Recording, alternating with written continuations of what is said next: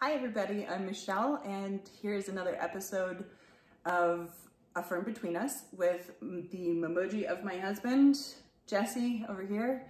He wouldn't put on pants today, so he is now off screen hanging out. You might hear from him here and there, but uh, what can we say? It's quarantine 2020. Um, let's see, we are going to be doing another posting uh, on Thursday. These are all going to be recorded ahead of time now because we can't seem to figure out how to do it live.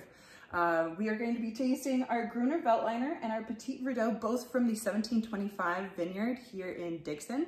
And uh, so those are some of my favorites. I think there's some of all four of us as owners are favorites. They are so spectacular. I cannot wait for you guys to taste them. So we have three days that we're open this weekend, Saturday today, Sunday tomorrow, and then Monday, one to five. You can call, place an order, and then have it picked up. We'll actually take it out to your car.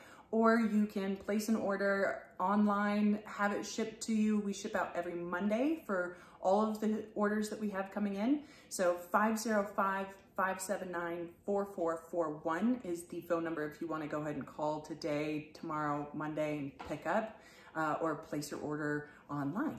So let's have fun with this. Keep coming to me with all of your funny, weird, awesome questions. We had a great time recording the uh, live stream that we did on Instagram on Thursday. Unfortunately, it was too long. Instagram dumped it.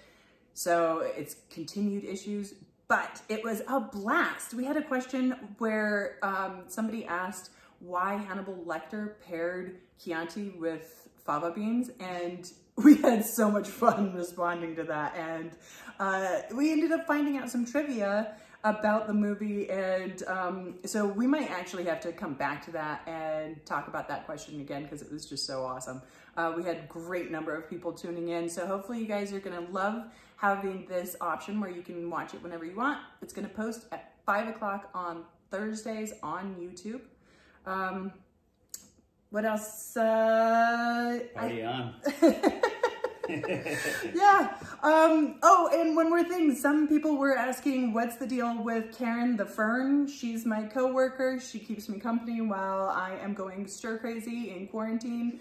But uh, she's also a reference to Zach Galifianakis' show Between Two Ferns. So she steps in, she's between my husband and I, or if we can figure it out, we'll also have some uh, live remote guests that will sit in this chair virtually. So we'll play around, send in your suggestions. We're gonna have a lot of fun. Thanks so much, you guys.